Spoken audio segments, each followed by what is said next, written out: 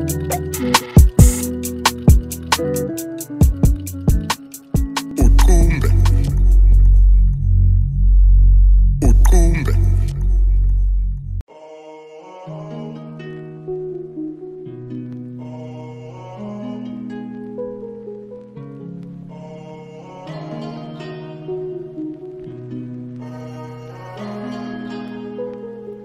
Milton School started life on the 25th of July 1910, named after Sir William Milton. However the buildings situated on Borrow Street Bulawayo, are now home to Milton Junior School. Milton and Evelyn First State maintained high schools in Rhodesia. Milton and Evelyn were officially opened on the same day by Sir William Milton, his wife Lady Evelyn, Sir Charles Coghlan and the Mayor and Town Council. Sir William Henry Milton, December 3, 1854, March 6, 1930, was Mashonaland, played rugby for England and was South Africa's second cricket captain.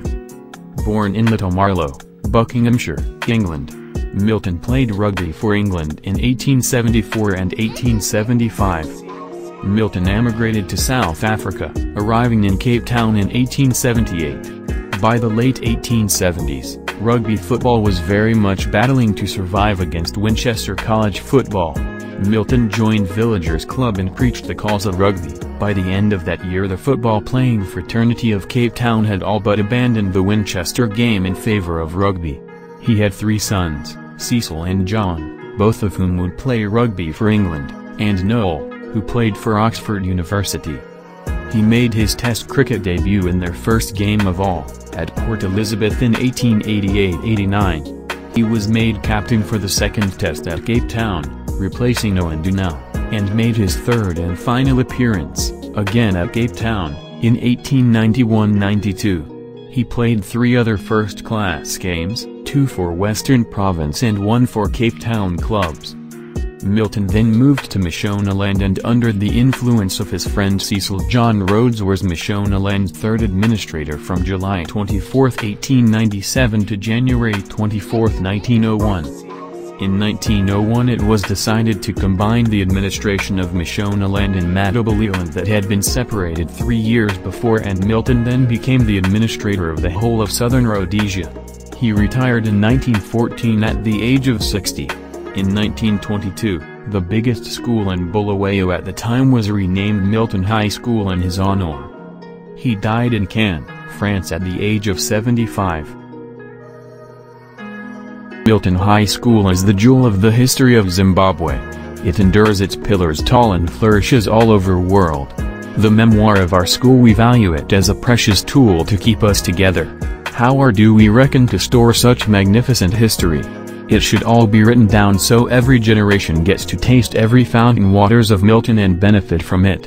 Long back ago energetic and goal-oriented students designed a magazine called the Milton Times according to the The Miltonian magazine that dates to 2000. It acknowledged the Milton Times as the most immeasurable seller in that time and surpassed its counterpart Milton Observers. Sadly it has been about 20 years without the Miltonian and the Milton Times. A lot of history was lost during that time not because the school failed but the economy defaulted us. We never discontinue yes I repeat we never quit. Our watchword stands as a symbol as contemptuously to restore Miltonian magazine yearly and the Milton Times Journal to restore our vital history by apprehending all lost history through partnership with every old Miltonian. Every one word counts because we are a big family that stretches around the world. Our school needs us as much as we need it. If we hold our hands unitedly it's possible to lift back the pillars of the school. Instead of complaining and crying what should be or could be let's walk our long talk and personification of what is there within our hearts. We are the whole world has been watching us closely and the critics have been punching the tusk. We always view things positive and respect everyone's view. We have been through triumph and did mistakes repeatedly. This makes us similar to everyone else but we remain different because we lift our tusk, get away from the mud and admit every consequence that falls in our head. Milton High School gave us a lot but pause a bit and think deeply since it has given you the shield and sword to fight the roars of the world, do you still give her the iron and necessary tools to sharpen other calves that are facing backlash and don't know what it is to wear the Milton uniform?